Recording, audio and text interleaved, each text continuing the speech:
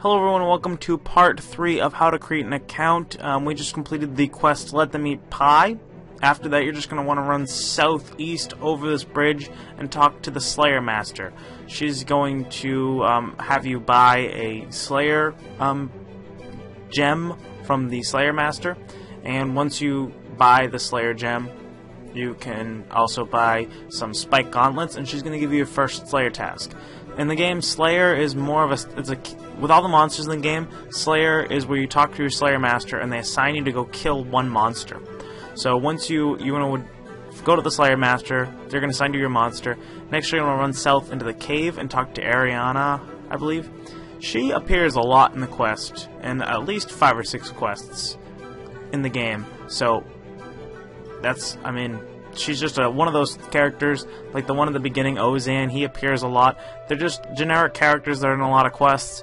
And when RuneScape, I guess, came out with this troll attack game, they put these people in, and since then they've released quests, and Ariane and um, Ozan have appeared in those quests following. So you're going to run up uh, to the back and destroy the uh, monster, or attack him. Once again, you're using your ability bars, such as 1, 2, and 3 on your keyboard, or whatever you set it to, and that'll allow you to do something. So she just teleported away.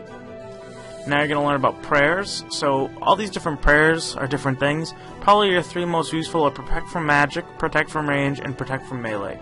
With a recent EOC update, they made it so you um, still take damage when you use them, just not like before used to not take any damage at all. So basically what it is, is if you were being attacked by someone using like range, such as they were bow and arrow shooting at you, you wouldn't take any damage, it would just like block. And this would be useful when fighting like monsters for quests because it was a pure range monster, you just have to worry about attacking it and you could just continue doing that. Um, as for this uh, minigame, I'm going to continue talking, but you're just going to have to kill five of these monsters using your ability bar. Don't worry, they shouldn't do enough damage for you to need to eat food.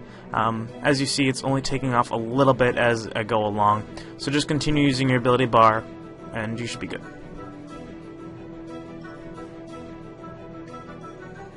So as I was saying with Slayer, it's, it's a very interesting task you go and kill all the monsters, and once you're finished, you get Slayer XP.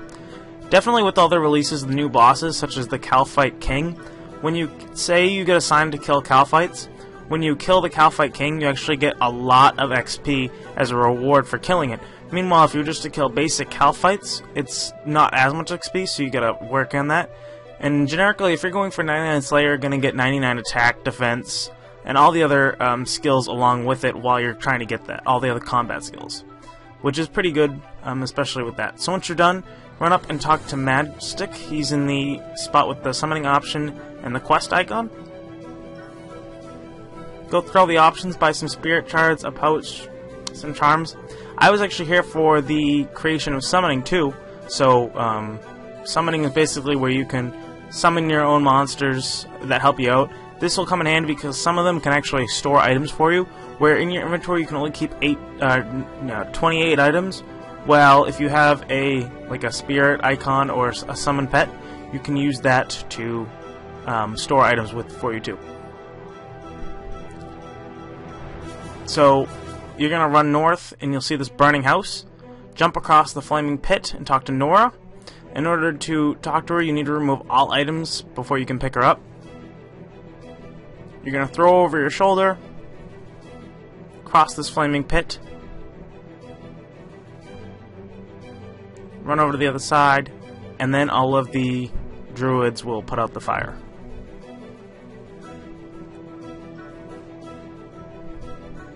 Thank you so much for rescuing me.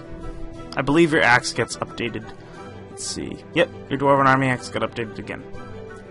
Now you're going to want to run south, back into the Pikkupstix area.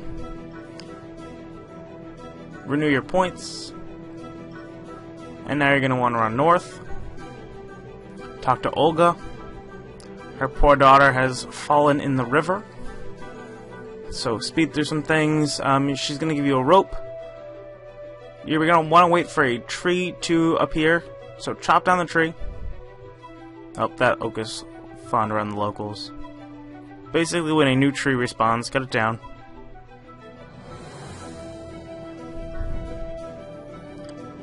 make him make a bow.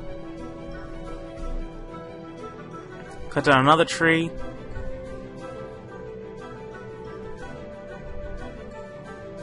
Now, cutting down trees takes a little while at your low level. Um, this is also one of those tasks where, or like one of the skills where you can get a better axe as you go along. So previous to all the other things, you can, um, uh, I don't know. I actually had to make a bow here. I wonder if it thinks, like, there's no blinking arrows at this part, as you can see. I think that's because earlier you were able to buy the charge bow, and that's where it's expecting you get the bow from. So if you run back, saying you already have a bow, cut down the tree. So uh, I kind of messed up a little bit here, but basically fletch yourself some the uh, some bowstrings. And actually, if you run north, you can trade and buy some 15 bronze arrowheads and 15 feathers. Craft your logs with a knife into arrow shafts. Use your arrow shafts with your bolt tips and the feathers to make uh, some arrows. Then use your rope with it, and use your rope on the rock, and you will go to save her. Now, here's the funny thing: is she can do this, but she can't swim. Ready? Boom! She's she just shimmies across that rope like no problem, but she can't swim. So you saved her, and she's good. When you make, um, just as a quick tip, when making arrow shafts, if you're planning on training range, Arrow shafts are really good until a certain level. I think it's like 15 is about what you want to do arrow shafts until, and that's when you. So don't make bows or anything like that. Just make the arrow shafts. Don't even bother turning them to arrows. It's not even worth it. So let's see. Light the logs. Use a pair of logs on the logs, and that was a task. So you just completed that task.